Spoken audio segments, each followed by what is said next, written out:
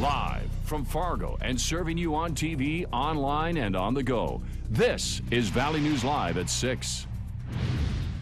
Shots fired in Moorhead early this morning started as an accident. The police say the situation was made worse by the man's poor decision making. Good evening and thanks for joining us. Mike has the evening off. Moorhead police say the investigation is ongoing, but they have enough evidence to know what really happened. Valley News Team's Ashley Bishop spoke with police about how the accidental gunshot turned into concern and a big headache for neighbors. Moorhead police say shots were fired inside and then outside of an apartment. It is believed that it was uh, um, unfamiliarity with the weapon and an accidental discharge happened, and then uh, in that state of panic, uh, trying to get the attention away from themselves, they went outside and discharged the firearm outside. The upstairs neighbor did not want to speak on camera, but tells us it is a family of four, including two teenagers, that live in the apartment below him. He says he was woken up in the middle of the night to police questioning him and was concerned. After hearing that it was an accident, the neighbor says it did not surprise him that the teenager tried to cover it up, saying most teenagers and kids do not want to get in trouble. The evidence was there, and uh, the investigation revealed that they were responsible. Police say the 18 year old man that fired the shots was uncooperative with police at first and may face charges of reckless endangerment and firing a gun within the city. In Moorhead, Ashley Bishop, Valley News Live. Fargo police also investigated reports of possible gunshots early this morning. They received a call around 3 a.m. in the 2900 block of 7th Street North. Police say they haven't found any evidence to prove that shots were fired. They didn't find any bullet holes or shell casings and were not able to locate a firearm. A witness reported seeing an SUV leave the area. Police pulled over the SUV and arrested this man, 41-year-old Shannon Clothier, for unrelated charges. He, has, he had brass knuckles, which are illegal, along with meth and drug paraphernalia. We are just under an hour now before kickoff at the Fargo Dome as the Bison take on the Richmond Spiders, a team they have never played before. And if they win this game, the Bison will be going for their fifth straight national championship. Valley News Team's Bradford Eric is stationed at the Fargo Dome in Bradford. I hear you talked with some fans lighting up the dome tonight. That's right, Stephanie. These massive bison heads and words defend the dome here behind me. They're the brainchild of uh, a Florida man, and he's a big, big bison fan.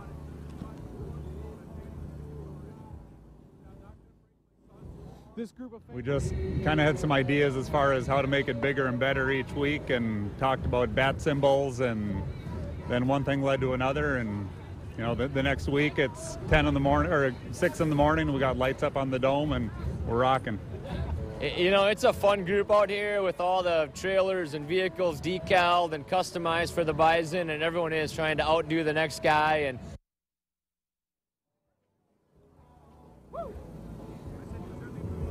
Some fans are flocking to the gates right now, while others are just trying to stay warm here at the tailgate. Ladies and gentlemen, it is pretty darn cold out here.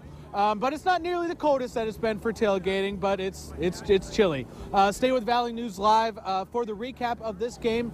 Beth and uh, Beth Hool and Alex Egan will have all of your wrap up here from this Bison game later tonight. Reporting live at the Fargo Dome, Bradford Eric, Valley News Live. All right, try to stay warm, Bradford. Thanks. There are five lights aimed at the Fargo Dome tonight. If you're headed out to the game or nearby in North Fargo, you can look at the dome to see the cool projections. And for those still in need for the perfect sweatshirt for tonight's game, or maybe a Christmas gift, the NDSU bookstore is continuing to bring in new items for fans.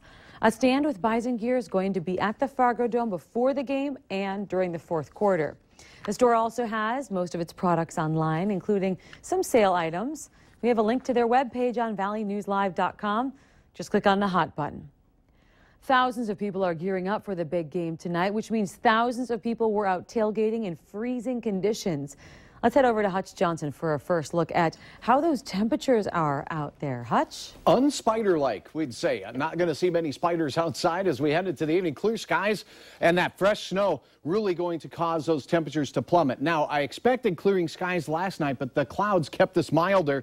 We have temperatures already in the single digits. Factor in winds around 10 miles per hour, and we have nasty wind chill across the valley. It feels like around 10 to 20 below. It feels like 21 below this hour in Langdon. Temperatures as we go through the late evening hours will dip below zero. Before we even head to bed tonight, Stephanie, it's going to be bitter cold overnight with some dangerous wind chills. We'll have details on some warmer air that makes its way back into the valley, but also for travelers for the holiday season next week, some snow showers that uh, will hit the area. I'll have details on what we're thinking there as well. It's going to be a very interesting ride, but a white Christmas, hopefully. It's yeah, we're definitely having a white Christmas. Okay, yes. all right, thank you. You Hutch. A new way to make your Christmas list is catching on, but beware of what you're asking for. You could be vulnerable to hackers. Target shut down part of its app, its mobile app, after security experts said the gift registry and wish lists are easy to hack, possibly exposing your address, phone number, and other personal information. Target says the app is back up and running today, adding they've fixed any potential problems. Valley News Team's crime and safety reporter Nicole Johnson stopped into the mall to talk with some last minute Christmas shoppers. Noon on a Friday usually isn't this busy. Uh, I still got some stuff left, so. Andre Kalar is out shopping for his family using a list created online. As I see what I want, like throughout the day, I'll just go on my phone and add it on that way, so pretty easy. He uses a wish list on Amazon, but others are using a variety of retailers or an app you can add links to and even play Secret Santa. It's a lot easier than really any other way. You get what you really want. Yeah. You can always just text them and tell them what you want to. How do you find out what your grandkids want? I ask their moms and dads, and they give me a list, and I go from there. Candace Lund doesn't do online stuff. I'm not good with computers or anything, so I like shopping in the stores. And it's fun, people watching and just having a good time. She says there's just too much risk buying online, and she wasn't surprised when we told her some technology experts are calling out flaws in online wish lists, saying they could expose your information. You hear about hackers getting into anything, so I'm sure that if someone wants to get into something like a Target wish list, they can. Why they would want to, I don't know. If you are going digital, experts say be cautious. Don't give away any unnecessary information to an app. If they don't need your location, birthday, or credit card information, don't enter it. Nicole Johnson, Valley News Live. If shopping is on your mind, today is free shipping day. More than 900 merchants are taking part with offers on items that will purportedly arrive by Christmas Eve. Moorhead police say they are adding a new investigator to the Tom Bearson murder case. Bearson was an NDSU freshman who went missing and was found dead last September of last year. Lieutenant Tori Jacobson says they have volumes of data and material to go through, and he says lots of comparisons to be made. An additional investigator that was just added to our investigations division, and they themselves have been assigned are going to become more familiar with the fresh eyes on the case. Jacobson says his department is working with various agencies on the case, and they met earlier this week. A Minnesota man was arrested today after he led police on a high-speed chase exceeding 90 miles an hour. 35-year-old Joseph Johnson from Hopkins, Minnesota, led police on a nine-mile chase through Becker County. The vehicle went into the ditch and Johnson and a passenger fled on foot. Johnson was arrested a short time later. Crystal Herman, the woman who was charged in the October robbery of a convenience store in Perley, Minnesota, made her first court appearance today in Crookston. Herman, along with her husband Billy, are charged in connection with the robbing of this Cenex in Perley with a baseball bat. Crystal was being held in North Dakota on other charges. Her husband Billy is still jailed in North Dakota on other charges and will eventually be moved to Minnesota to face the robbery charges. The Salvation Army Police Fire and Realtors Challenge is complete, and the results are in. Later at 6, find out who came out on top. And the nation's chilliest temperatures are right here in the valley, and it will get even colder into the overnight. Details on that and then a warm up coming up right after this.